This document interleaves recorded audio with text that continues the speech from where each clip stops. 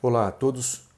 Nessa aula, após a discussão sobre o experimento de Michelson-Morley, nós vamos falar sobre o contra-ataque do éter, né, como parte do nosso curso de relatividade especial. Eu sou Ricardo Avelino Gomes, professor do Instituto de Física da Universidade Federal de Goiás. Pois bem, é, nós já discutimos o domínio, fizemos uma introdução na aula 1, na primeira aula, é, sobre a relatividade especial e na segunda aula fizemos a discussão sobre o experimento de Michelson-Morley. Né? Então, na primeira aula, além do domínio da relatividade especial, nós discutimos o princípio de relatividade, né, é, que nos levou ao princípio de relatividade de Galileu, ou newtoniano.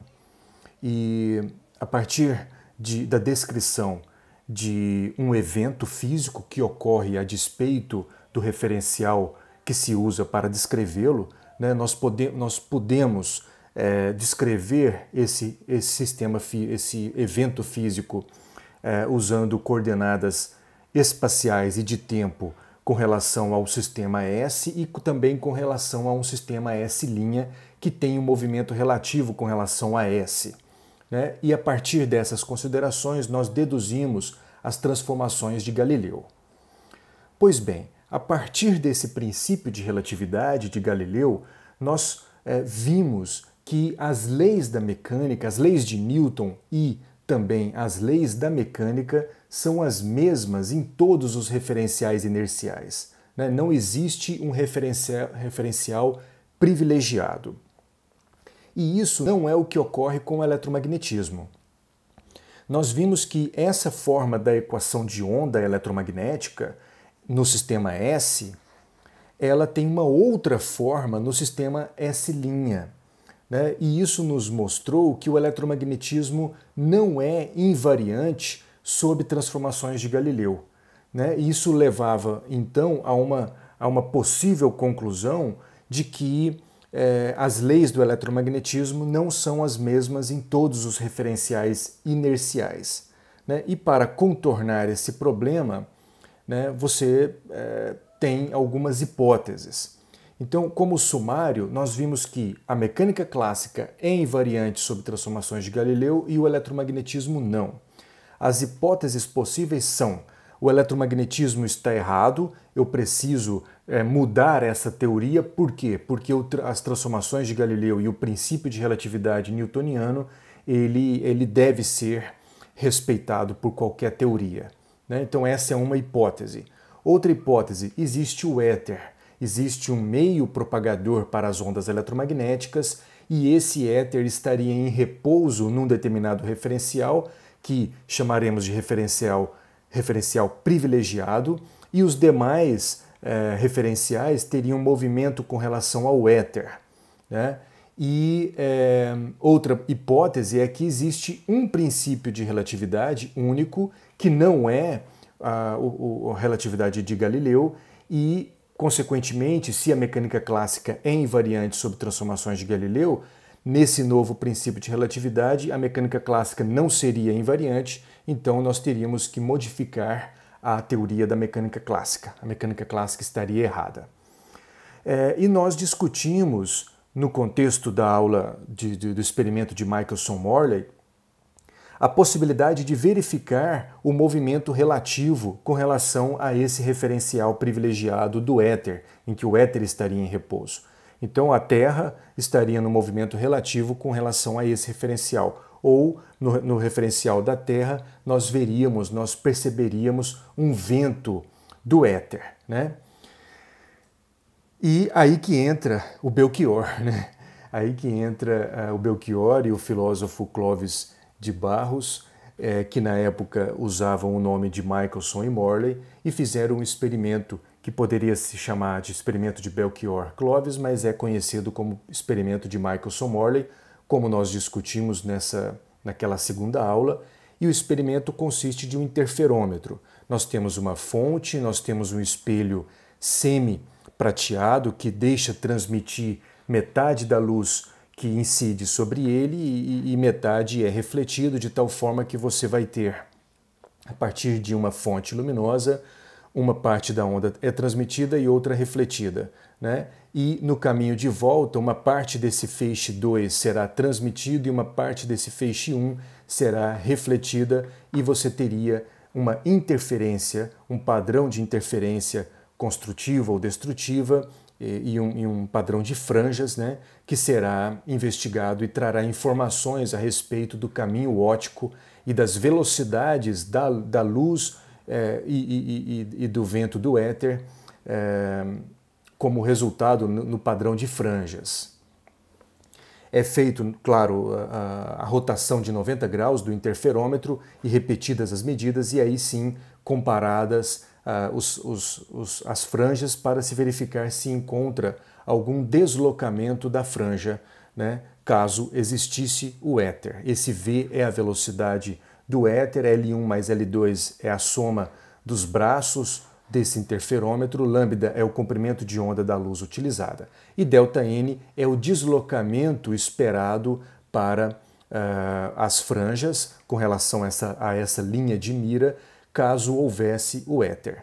O resultado do experimento é que ΔN foi zero, não foi observado qualquer deslocamento.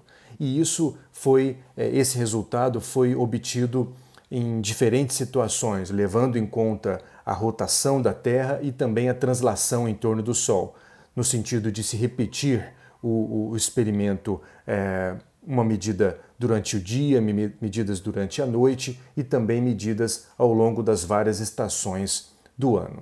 Então, nenhum deslocamento foi observado. Esse é o fim da hipótese do éter, né? o vento do éter não foi observado, então é, então você acaba com essa hipótese? Bem, não é, não é bem assim. Né? O éter contra-ataca e nós vamos ver algumas tentativas de preservar o éter a despeito do resultado nulo do experimento de Michelson Morley. A primeira hipótese, a primeira hipótese importante a ser investigada é a da contração de Lorentz Fitzgerald. Né?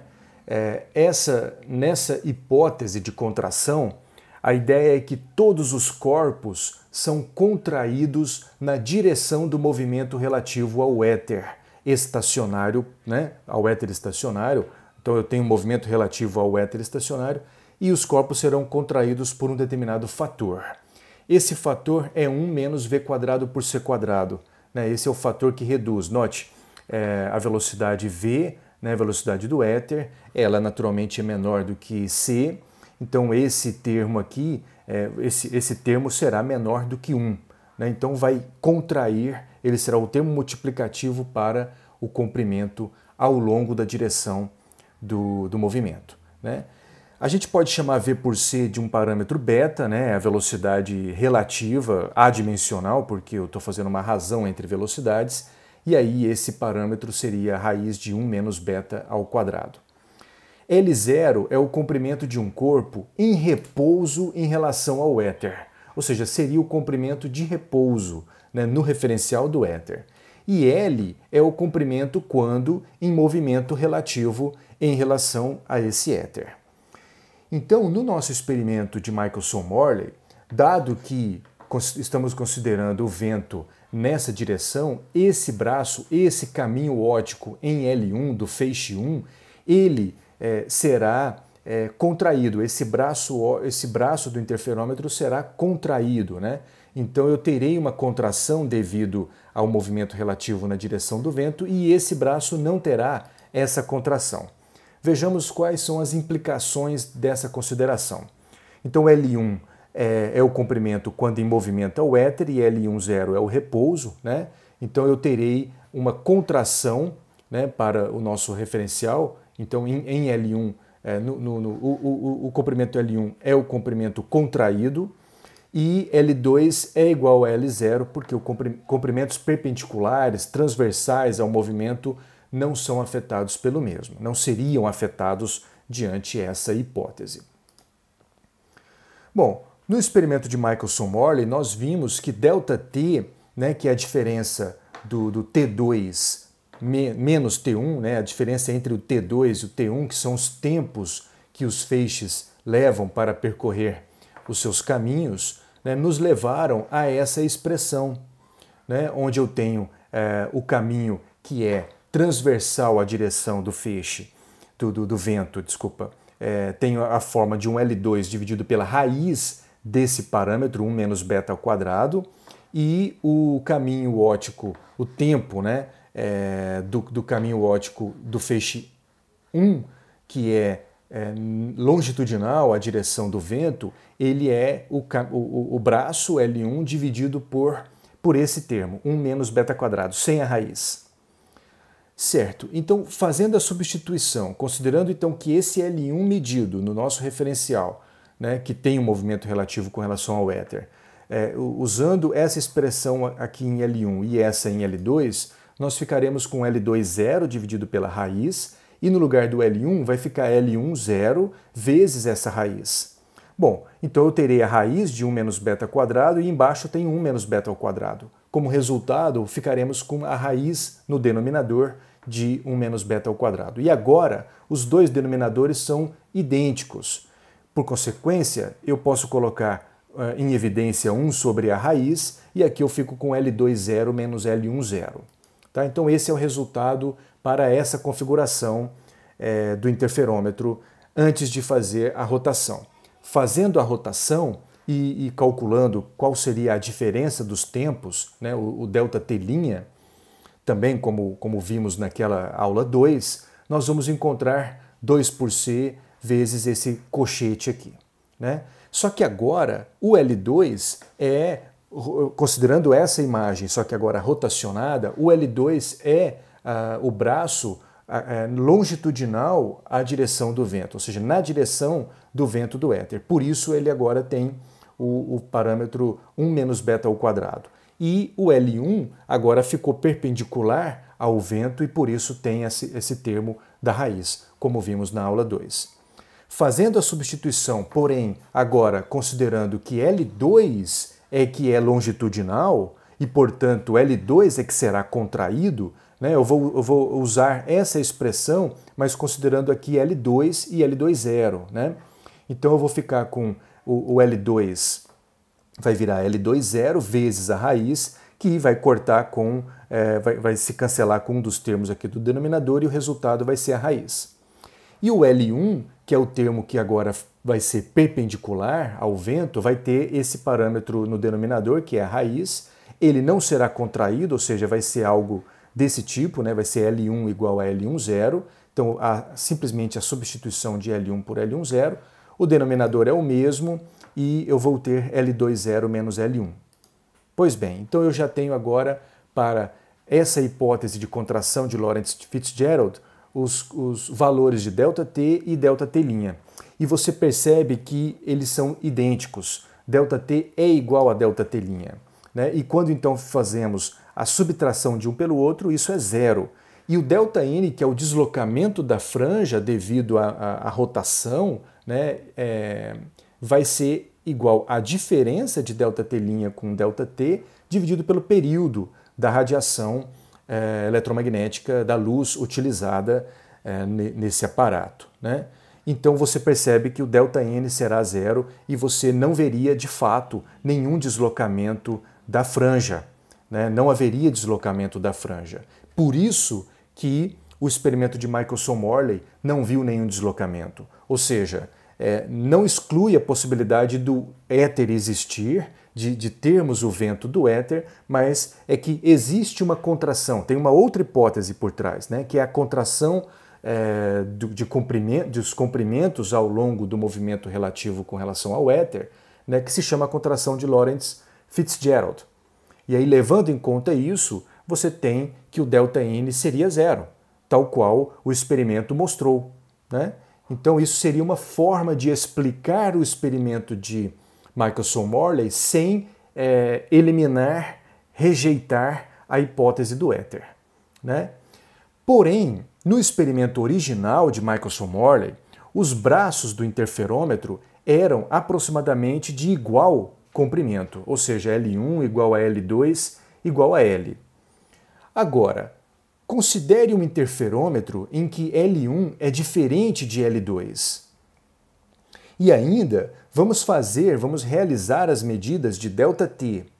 Né? e de ΔT' em momentos em que a velocidade do éter varie de V para um V', né, respectivamente. Então, o ΔT quando a velocidade do éter é, seja V e ΔT' quando ele for é, V'.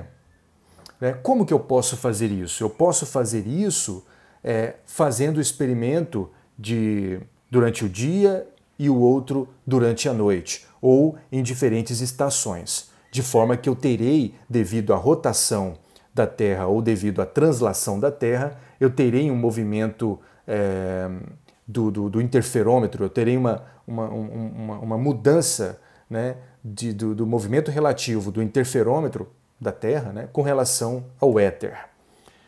Tá? Então, é, a mudança máxima seria em 12 horas, né, devido à rotação da Terra, ou é, você usar a, a mudança máxima em seis meses devido à translação.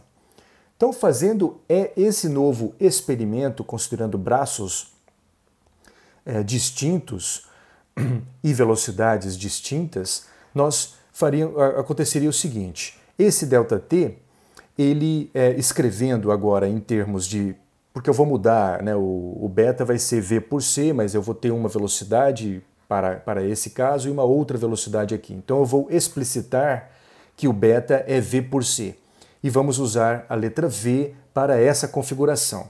Né? E L20 menos L10, vamos tentar fazer os, que os braços do interferômetro sejam é, é, é distintos, diferentes o suficiente né, para ter uma, uma possibilidade é, de diferença significativa, como vai ser visto daqui a pouco.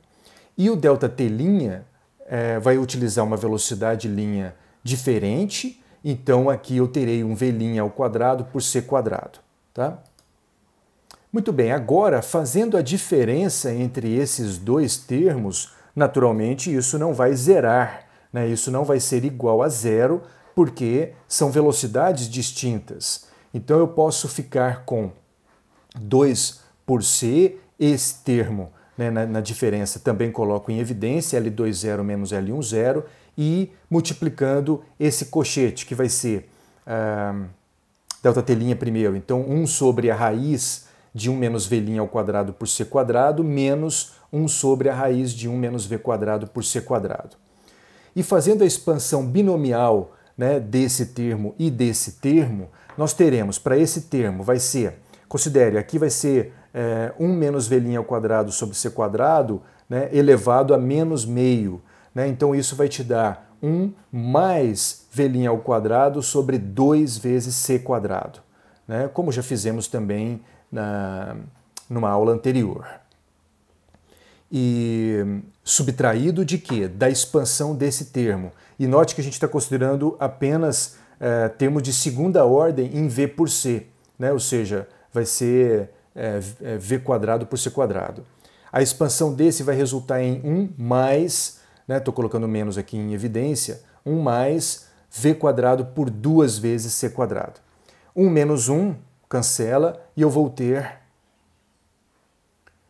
eu vou ter L2, 0 menos L1, 0 dividido por C, e aqui dentro do parênteses vai ficar V' ao quadrado dividido por 2C quadrado menos V quadrado por 2C quadrado. Esse 2 do denominador corta com esse, cancela né, com esse 2 do numerador, então esse é o resultado obtido para a diferença dos tempos, a diferença das diferenças de tempos.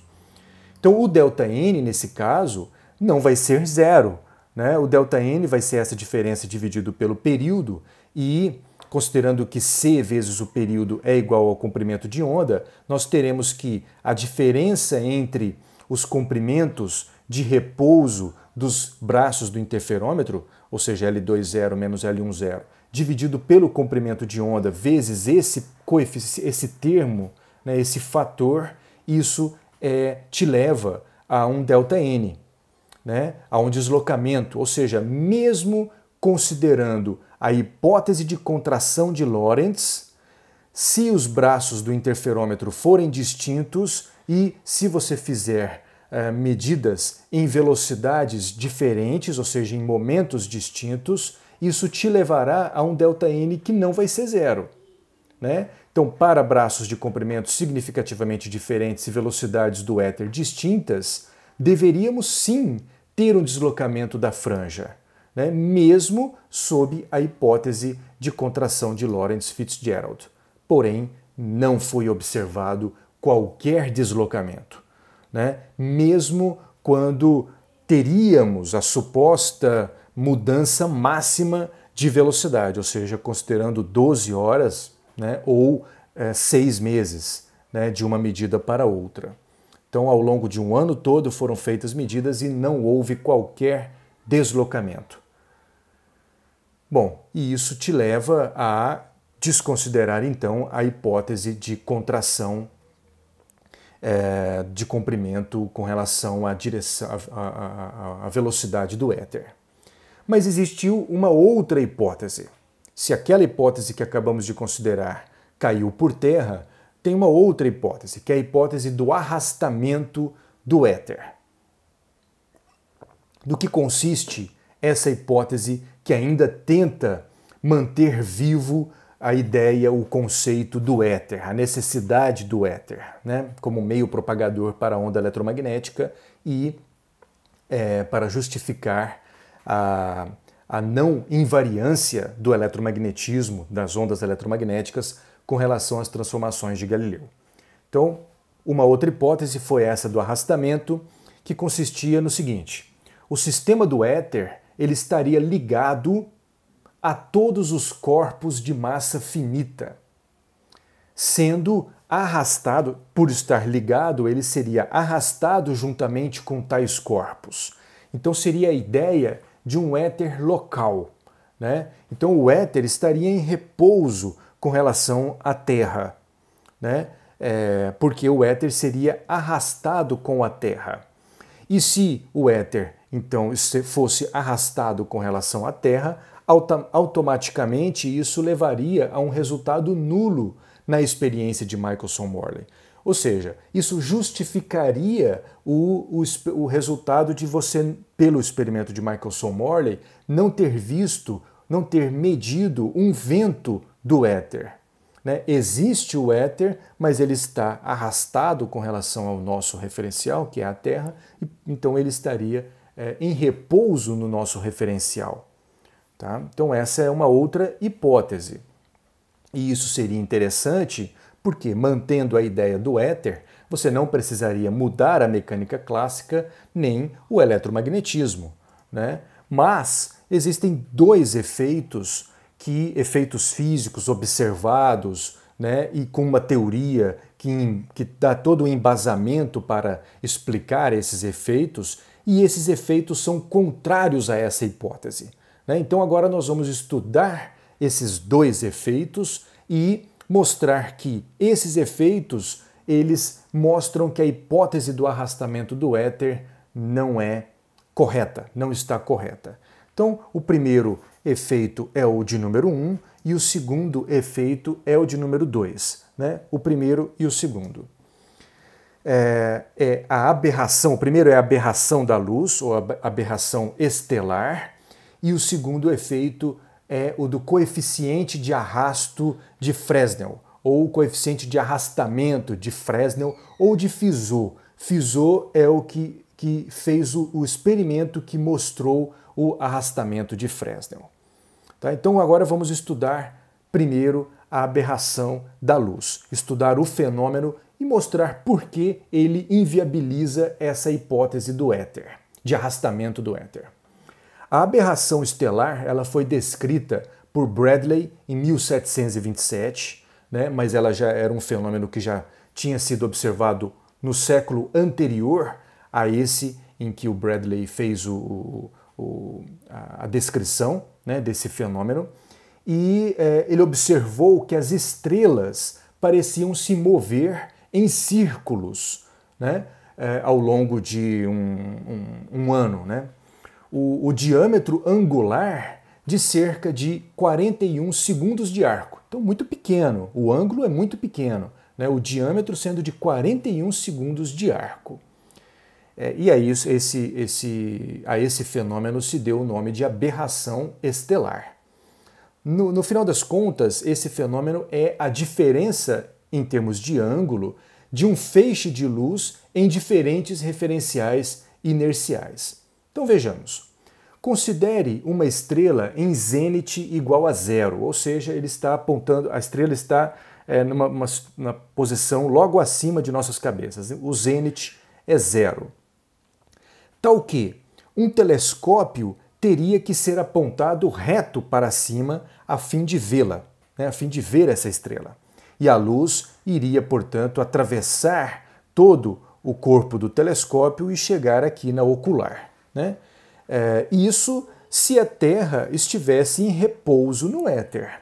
Né? Se a Terra estivesse em repouso no éter, seria esse é, o, o, o, que aconteceria para uma estrela é, em zênite igual a zero.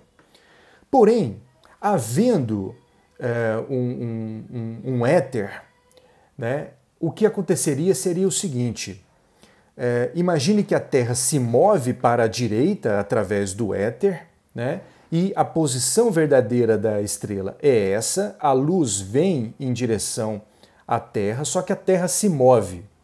Né? Então, quando ah, o telescópio, a, a, lente aqui do telescópio está nessa posição, a, é quando a luz chegou. Só que a Terra está se movendo e, consequentemente, o telescópio. Né? E aí a luz vai viajar nessa direção. Porém, a Terra se move com relação ao éter em que é, haveria essa, essa uh, em que a luz iria de forma linear né, a, até atingir aqui a ocular quando a Terra se move né, e, e, e, e aí o, o, o telescópio já estará nessa posição quando a ocular estiver na linha né, da luz. E para que a luz percorra o, o caminho, o corpo do telescópio, você terá que fazer com que o telescópio fique inclinado, de tal forma que, à medida que a Terra se move, a luz vai percorrendo o corpo do telescópio. Né? Então, para que os raios passem para baixo do tubo, telescópico sem tocar nos lados, né, para você poder ver a estrela, nós teríamos que inclinar o telescópio de um certo ângulo alfa. E isso faria com que você percebesse ou imaginasse que a, a, a estrela estivesse nessa posição, dado esse ângulo alfa com relação ao zênite zero. Né? E isso então seria, essa seria então a posição aparente da estrela. Muito bem, é, se você então considera que o delta T é o tempo que a luz percorre dessa posição até a ocular, né? é, é, é o tempo que a luz percorreu para, para essa distância. Então, essa distância será C, velocidade da luz no, no referencial em que o éter está em repouso, vezes ΔT, e é, nesse mesmo período ΔT, a Terra viajou por, uma certa, nessa, por essa distância né, é, com a velocidade V. Então, essa distância é v vezes ΔT. A tangente desse ângulo, esse ângulo aqui é o mesmo desse ângulo, né, a tangente vai ser v ΔT dividido por c ΔT. O ΔT cancela naturalmente e isso vai resultar em v por c, né? ou poderíamos chamar de v por c igual ao beta. Agora considere o seguinte, a velocidade da Terra Esquece inclusive o éter. A velocidade da Terra ao redor do Sol é de 30 km por segundo. Né? Então, o nosso o beta, considerando essa velocidade, vai ser igual a 10 a menos 4, tal como já, já calculamos em uma aula anterior. Né? Então, considere 3, 30 quilômetros é 3 vezes 10 a quarta metros né, por segundo e C é 3 vezes 10 a 8. Então você vai ter um 3 vezes 10 a quarta dividido por 3 vezes 10 a 8, o que resulta em 10 a menos 4. Né? O metro por segundo vai cancelar com o metro por segundo. E aí, considerando o V por C 10 a menos 4, o alfa, que é o arco tangente de V por C, vai ser o arco tangente de 10 a menos 4. E isso é aproximadamente 10 a menos 4 radianos. Né? E aí você multiplicando por 180 graus dividido por π radianos para fazer a mudança para calcular em termos de graus, né? e ainda considerando que 1 grau é igual a 3.600 segundos de arco, né, você vai ficar com a resposta em segundos de arco, que é de 20,6 segundos de arco, ou arque segundo. Né? E isso está de acordo com a, o que é observado de 41 segundos para o diâmetro. Né? O diâmetro seria esse 2 alfa, né? então duas vezes alfa vai dar exatamente 41 segundos de arco, levando então em conta uma explicação é, de, da velocidade da Terra com relação ao Sol. Né? Está, isso, portanto, está em excelente concordância com o valor observado experimentalmente da aberração da luz. Pois bem, então esse é o fenômeno da aberração e sua explicação. Né? Eu teria, devido à velocidade da Terra com relação. Aqui foi feita uma explicação com relação ao éter, mas a gente pode considerar essa velocidade que foi colocada aqui como uma velocidade de translação da Terra com relação ao Sol. Né? E é, o, o, referencial do Sol seria, portanto, o mesmo referencial dessa estrela é, que estamos considerando né, como a posição verdadeira no zênite, e eu teria que inclinar devido à, à velocidade da Terra. Claro, o alfa aqui, a inclinação está exagerada. Né? Você vê que o ângulo é muito pequeno. Muito bem, então agora analise o seguinte: como que essa, esse efeito da aberração da luz observado e que pode ser bem explicado, como isso está relacionado à hipótese de arrastamento do éter? Veja, caso houvesse o arrastamento do éter, ele, o éter, né, estaria em repouso com relação à Terra. E ele estando em repouso com relação à Terra, o telescópio não teria que ser inclinado. Então, na hipótese do éter, né, você não teria que inclinar, não haveria aberração, portanto. Né? A, a, a aberração viria caso você tivesse uma velocidade com relação ao éter. Né? E aí é, a luz viria nesse referencial com velocidade c e no outro referencial você é, teria que inclinar para, para poder ver a, a, a estrela. Tá? Então nós concluímos que o éter, se ele existir, ele não deve ser arrastado. Né? Ele não deve ser arrastado, porque em sendo arrastado, ele estando em repouso no referencial da Terra, o telescópio não teria que ser inclinado, não existiria o fenômeno de aberração. Tá? E assim nós podemos explicar o resultado do experimento de Michelson-Morley é, e assim, nós não podemos né, explicar o resultado do experimento de Michelson-Morley pela hipótese de arrastamento do éter. Tá? O fenômeno de aberração da luz inviabiliza a hipótese de arrastamento do éter. E como se não bastasse, existe um outro fenômeno que é o coeficiente de arrastamento de Fresnel. Né? E isso está ligado à, à, à, à ideia de como uma onda eletromagnética se propaga em um meio que está em movimento com relação a outro meio. Né? Como, como no referencial em que o meio está em movimento, né? ele está em movimento com relação ao meu referencial de laboratório, né? como que se dá a propagação da onda eletromagnética nesse meio.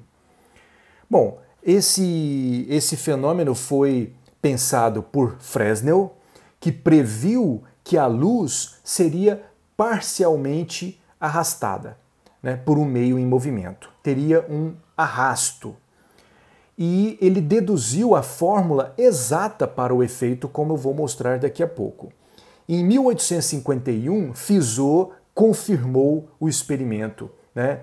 quer dizer, confirmou o efeito experimentalmente. Então a ideia é a seguinte: eu tenho uma fonte, é como se. Aqui, aqui é o experimento de Michael Morley colocando é, um, um fluxo de água para o caminho óptico né, da luz. Então, é, aqui você tem um, um, água entrando, então você tem a velocidade da água nesse sentido, apontando uh, da, da, da, seta que está apontada, né? e é, a água então vai fluir nessa velocidade, nesse sentido agora, com essa velocidade, né? e o caminho do feixe que vem nessa direção, ele estará sempre favorável à velocidade do, do fluido, da água, né? porque aí ele vai ser refletido para cá e também vai pegar no sentido favorável ao fluxo. E o feixe que vem nessa direção, né, o feixe que é refletido por M sobe para M3 e vai ser refletido por M2, M1 e vai voltar para M, ele vai estar sempre contrário ao fluxo da água. Então a ideia é a seguinte: o fluxo de água, né, o meio pelo qual a luz passa, né, esse meio pelo qual a luz passa, pode afetar a velocidade da luz medida no referencial nosso do laboratório, ou seja, veremos alguma interferência, alguma modificação no padrão de interferência aqui das franjas? E a resposta é sim. Existe uma modificação da velocidade da luz devido ao meio pelo qual ela atravessa estar em movimento. Né? Então, algumas considerações. A velocidade da luz na água parada, sem é, estar em movimento, a velocidade da luz é c sobre n. n é o índice de refração. Né? Então, a, a velocidade da luz terá é, será esse valor, não será c. c é a velocidade da luz no vácuo. Né? Para o vácuo, é, o, o, n é igual a 1, né? então a velocidade resulta em c. Para um outro meio, n é maior do que 1 e por isso a velocidade da luz é, no, de, no determinado meio será menor do que c. E a velocidade da água vamos considerar que é VW, né? W de water, né? de, de, de água em inglês. Muito bem, então a velocidade com que da luz que Fresnel calculou vai, é, é, é, essa. Vai ser C sobre N, né, que é a velocidade da luz num determinado meio quando esse meio está em repouso, né, mais ou menos, a depender se está favorável ou contrário ao fluxo do, de água, mais ou menos VW vezes esse coeficiente que é o coeficiente de arrasto de Fresnel. Né? Ele é um termo que é menor do que 1, ou seja, a velocidade da luz não vai ser a velocidade é, da luz na água mais ou menos a velocidade da água. Né? Não vai ser isso, vai ser um coeficiente menor do que 1 multiplicando a velocidade. Por isso o termo arrasto. Né? Ela será arrastada por um termo menor do que 1. O experimento de Fizeau considerou uma eh, foi feito com uma velocidade da água de 7 metros por segundo. E ele confirmou a previsão de Fresnel né, confirmou essa previsão e essa fórmula, né, com o coeficiente de arrasto e tudo. Tá? Então isso foi, é um fenômeno confirmado experimentalmente. Tá? Então tem uma teoria por trás eletromagnética que usa a teoria eletromagnética e é, tem uma, uma confirmação experimental. Esse é o fenômeno e a pergunta agora é: como isso se relaciona à hipótese de arrastamento do éter? Pois bem, Caso o éter fosse arrastado juntamente com a água, que tem uma massa finita, então ele também seria arrastado com a água, a velocidade da luz seria V igual a velocidade da luz na água mais a velocidade da água ou menos a velocidade da água, caso é, esteja num sentido ou no outro sentido, né, favorável ou contrário ao fluxo. Então, se o meio está se propagando juntamente com a, a, a água, né, a, velocidade seria simplesmente a velocidade da luz na água mais a velocidade da água. Né? Transformação de Galileu. Né? Simples, caso o éter existisse. Tá? Ou seja, não haveria o coeficiente de arrasto de Fresnel. A previsão, de acordo com a ideia do arrastamento de é, do éter, seria essa para a velocidade e não haveria, haveria esse coeficiente que está em parênteses. Né? Só que esse coeficiente existe e foi medido com uma precisão muito boa por Fizeau e depois por outros, inclusive pelo Michelson e Morley, que repetiram o experimento e, e fizeram medidas precisas desse coeficiente de arrasto. E nós então concluímos que o éter, se ele existir, não deve ser arrastado junto com a Terra. É mais um fenômeno, é o segundo fenômeno que mostra que a hipótese de arrastamento do éter não está correta. Tá? Então foram esses dois fenômenos que mostraram que são contrários à hipótese de arrastamento do éter. Tá? Então esquece essa hipótese agora. As evidências mostram não haver o arrastamento.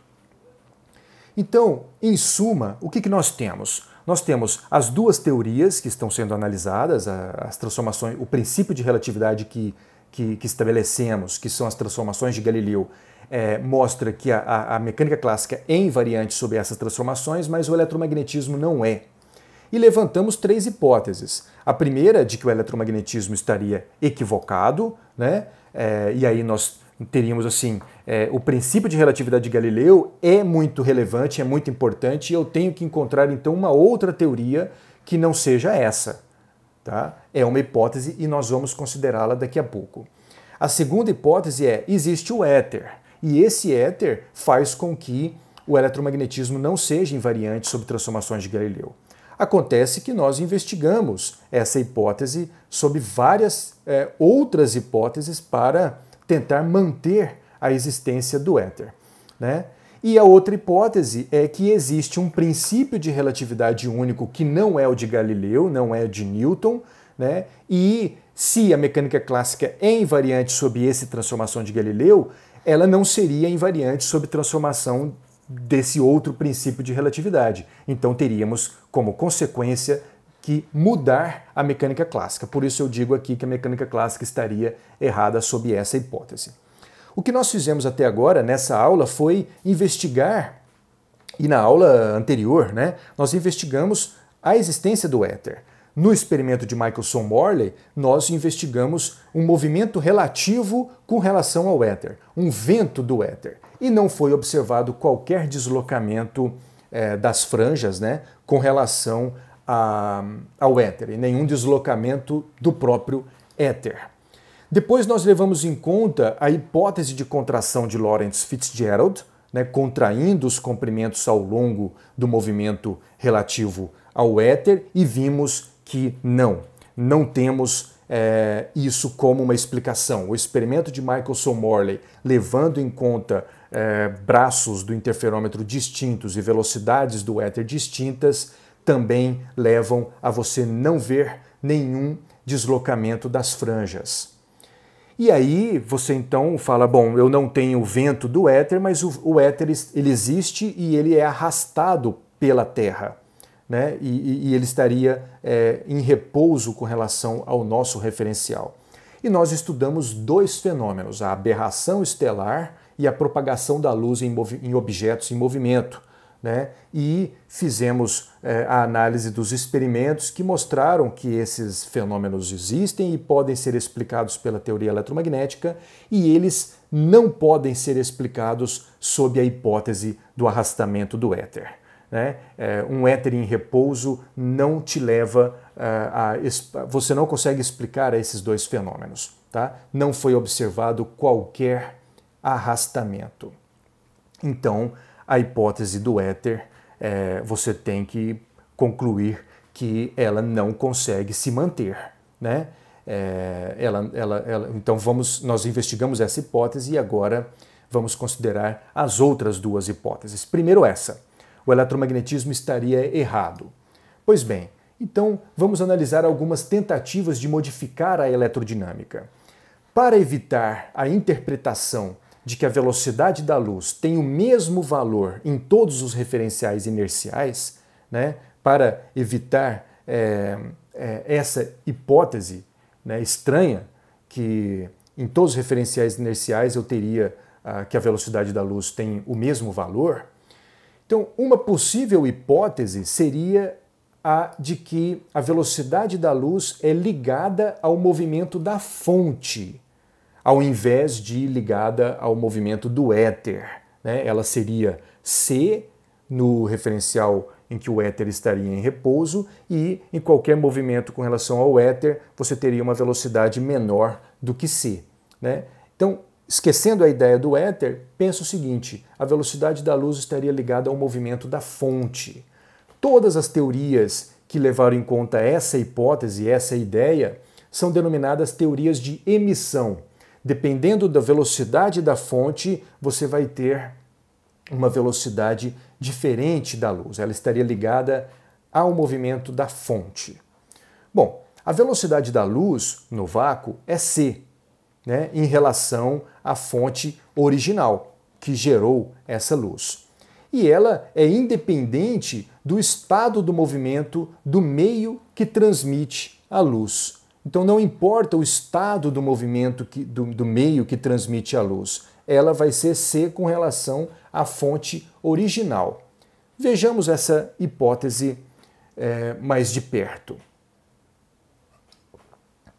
Mas antes, vamos considerar dois efeitos que são contrários a essa hipótese. Né? Vamos considerar uh, a velocidade da fonte né? e, e, e verificar esses efeitos físicos e depois lançar mão dessa possibilidade das teorias de emissão e verificar se elas são é, verificadas ou não, né? E, quer dizer, verificar se elas estão corretas ou não. Então são dois efeitos, o primeiro de número 1 um, e o segundo é o de número 2, que o primeiro é, são das estrelas binárias, né, ou estrelas duplas, e o segundo, um experimento de Michelson Morley usando luz extraterrestre. Então vejamos das estrelas binárias. Essas estrelas foram observadas né, por De Sitter, então são as observações de De Sitter, de sistemas de duas estrelas próximas, uma, das, uma da outra, que se movem em uma órbita ao redor do seu centro de massa comum. Né? Então, é, em duas estrelas, estão orbitando um, a posição do centro de massa comum delas. Então, aqui é uma representação. Considera essas duas estrelas. Uma tem velocidade V2 nesse sentido e velocidade V1 nesse sentido, em determinado momento e elas. É, aqui tem um observador com um telescópio e você vê a luz sendo emitida por essa estrela e por essa estrela. A velocidade da luz em relação ao observador seria c mais vs, né, onde vs é a componente da velocidade da estrela em relação ao observador. Né? Então, a velocidade da luz em relação ao observador vai ser a componente da velocidade da estrela com relação ao, observador, na direção do movimento com o observador. Né? Então, se essa estrela está se aproximando com uma componente Vs nessa direção, ela vai ter uma, uma, uma, uma velocidade da luz que vai ser c mais Vs.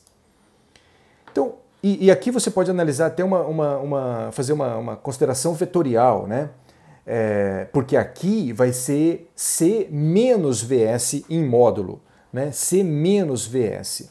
Por quê? Porque uma estrela se aproxima e a outra se afasta da Terra né, em um determinado instante. Ou seja, você terá tempos distintos para a luz chegar, dado que você vai ter velocidades distintas, uma vai ser c mais alguma coisa e outra vai ser c menos alguma coisa, porque a fonte está em movimento contrário à direção da Terra. Os tempos serão distintos para a luz chegar na Terra e isso te resultaria numa excentricidade na órbita observada pela Terra.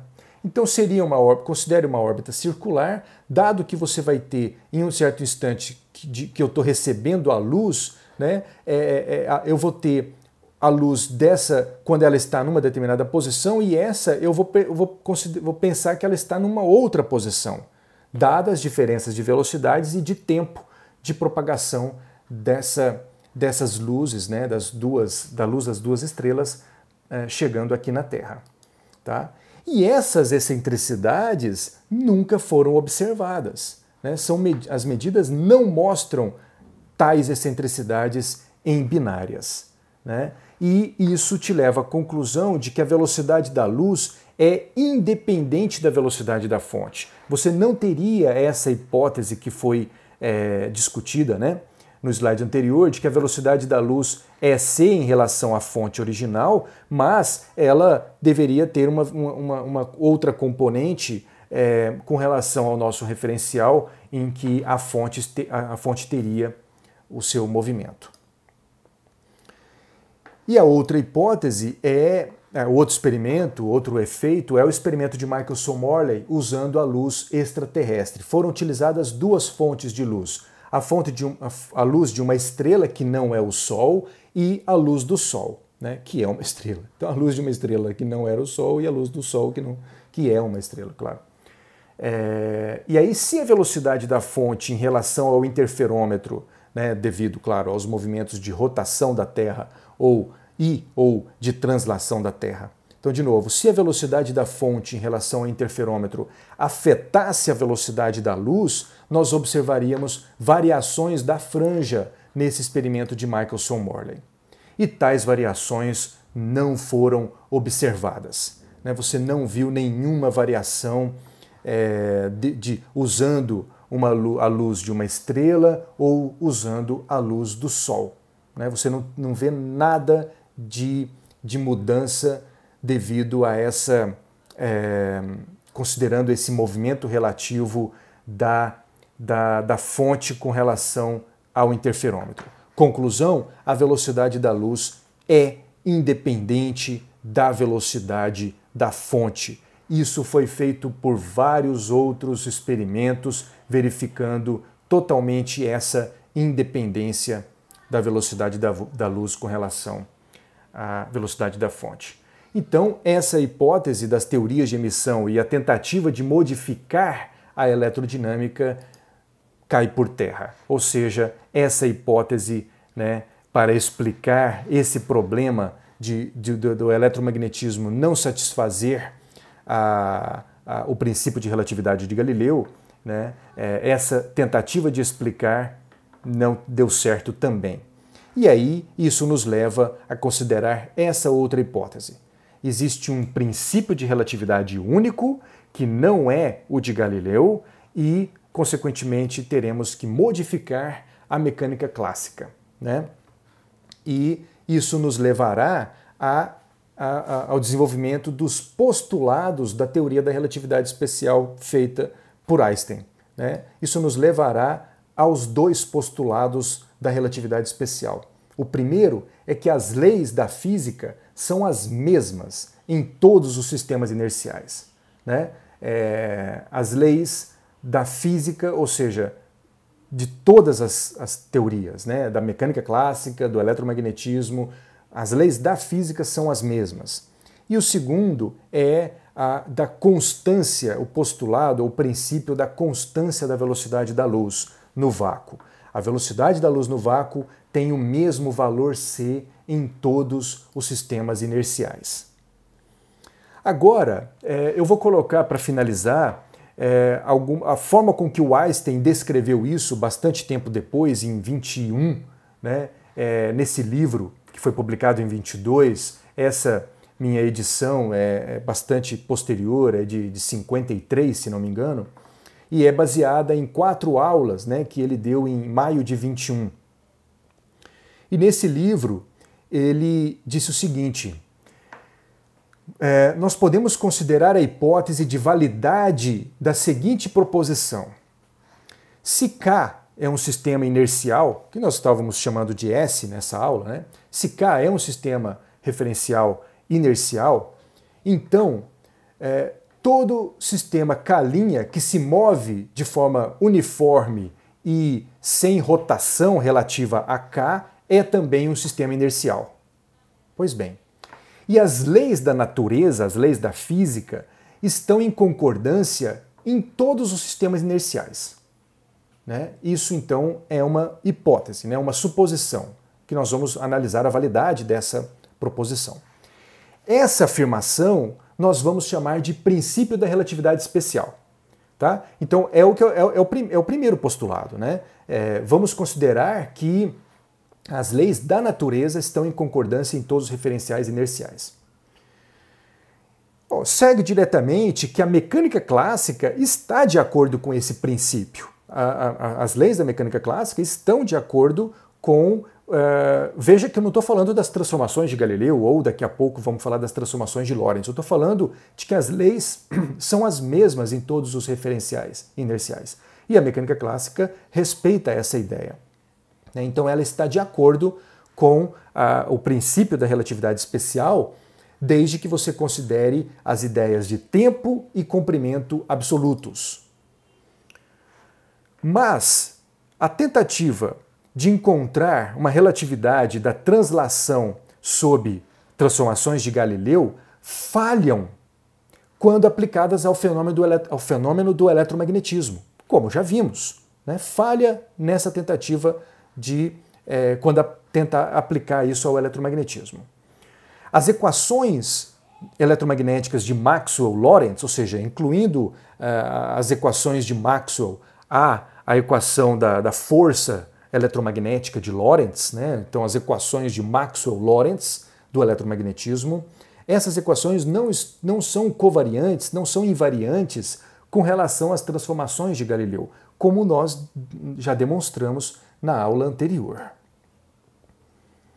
Então, uma vez que o eletromagnetismo não se mostra invariante sobre as transformações de Galileu, você poderia pensar, é, ela não, não está de acordo com o princípio da relatividade especial que diz que todos os referenciais inerciais são é, as leis da física, as leis da natureza são as mesmas em todos. Né?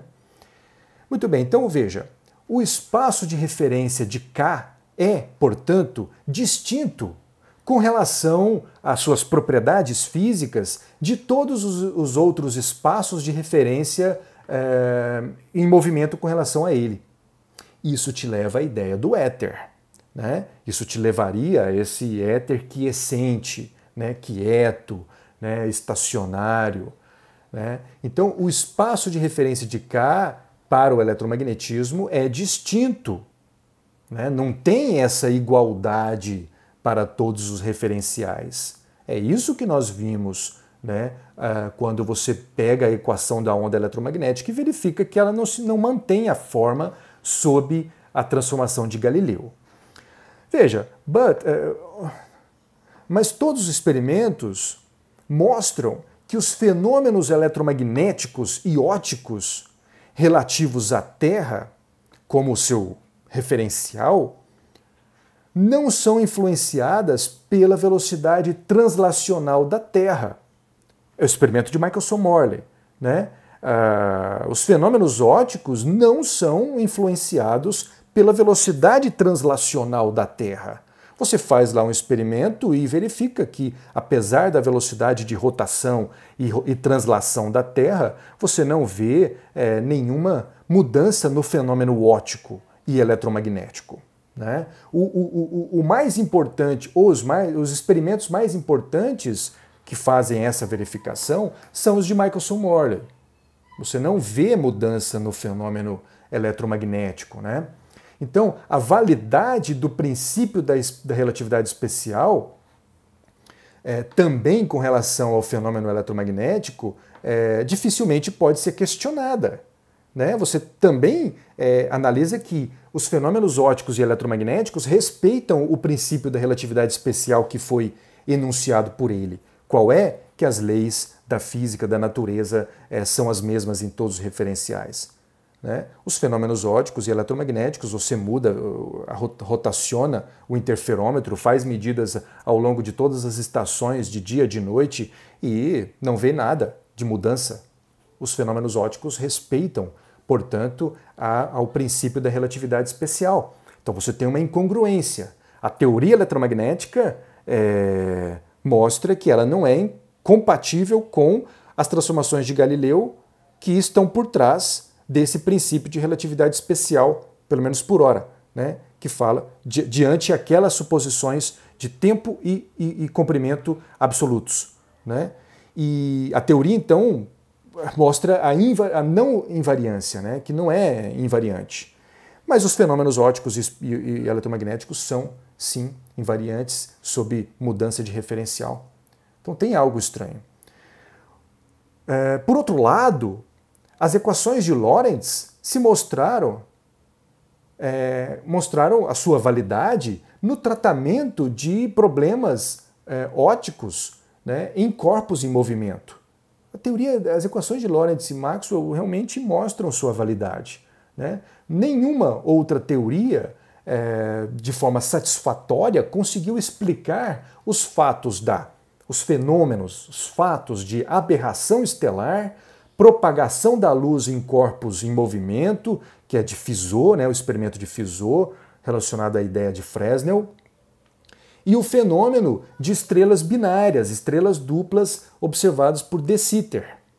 Né? Então, nenhuma outra teoria conseguiu explicar. Esses fenômenos podem ser explicados né? e, contradizer, e contradisseram o, o, a ideia do éter.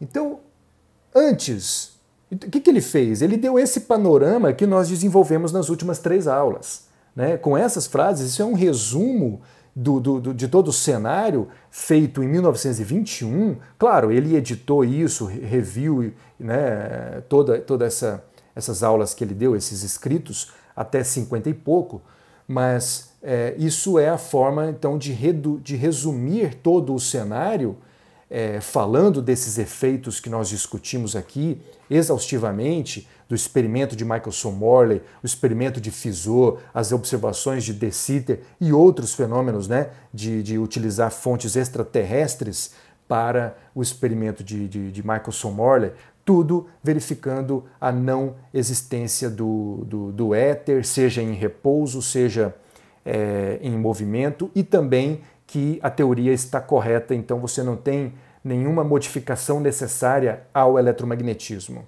Né? Então, antes de traçarmos conclusões a respeito desses dois princípios, quais são os princípios da, o princípio da relatividade especial, de que as leis da natureza são as mesmas, e também da constância da velocidade da luz, né, a despeito do referencial, estar em movimento ou não com relação a outro referencial. Então, eh, antes de traçarmos conclusões a respeito desses dois princípios, nós primeiro vamos é, investigar, revisar o significado físico dos conceitos tempo e velocidade. Né? Essa é a abordagem que o Einstein faz, ele revê esses conceitos para então é, é, analisar que de fato faz todo sentido pensar que, a despeito das é, velocidades relativas dos referenciais, é, a velocidade da luz em cada um dos referenciais é sempre a mesma, que é igual a c. Pois então, nós vimos os antecedentes né, aos postulados da relatividade especial e me parece que agora nós estamos prontos para investigar os postulados da relatividade especial. Mas essa é uma outra história que veremos na sequência. Muito obrigado.